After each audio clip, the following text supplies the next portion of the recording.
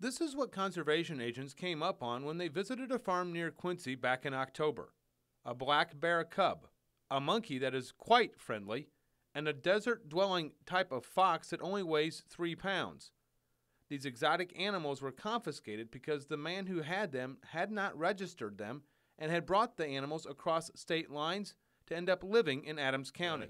Yeah, this is probably one phone call we probably would not anticipate nor would expect, and very unusual, uh, especially the mix of different types of exotic animals that this person had in their possession. So obviously, we wanted to take things very cautiously, uh, making sure everything was compliant, which was not. The conservation officers that we talked to says they think the bear has had too much contact with humans to be released back into the wild. And as for the monkey and the fox, authorities are trying to find a home for these animals to make sure they end up with proper care. But Sheriff Fisher says it's a good idea for local authorities to know when you have ownership of these type of exotic animals. You know, it is critical to, to why they the rules are in place to have these registered is because it's very important. You're talking about an exotic animal. It's something that is going to be beyond any normal pet that you would have. So they're going to have special needs. They could be potentially dangerous.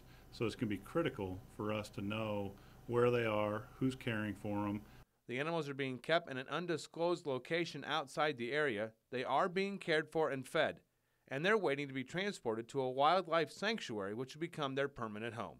Jim Whitfield, KHQA News, Adams County, Illinois.